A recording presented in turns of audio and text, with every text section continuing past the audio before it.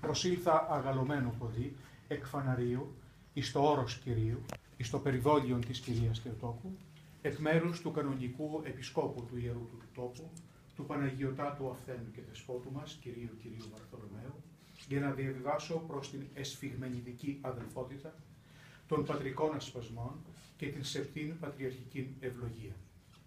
Όπως γνωρίζετε, η ταπεινότητά μου εξελέγει προ τριετίας σε μια εμπερίστατη Μητρόπολη του θρόνου στη Μικρά Ασία, στην Ιερά Μητρόπολη Κιδωνιών και κατά θεία συγκυρία έρχεται να τελέσει την πανήγυρη μιας εμπεριστάτου Ιεράς Μονής, όπως είναι η Ιερά Μονή εσφυγμένη, με όλες τις δυσκολίες, τους πόνους, τους πειρασμούς. Πλην όμως, μέσα από αυτούς τους πόνους, το δάκρυ, τους πειρασμούς, την ανησυχία, ο Θεός του ελέους και των νυχθερμών, εκείνος ο οποίος ανέστησε εκ νεκρών των ποιμένα των προβάτων των Μέγα, όπως διαβάζουμε στην προς Εβραίους επιστολή, εκείνος λοιπόν θα φέρει μαζί με τον πειρασμό και την έκβαση.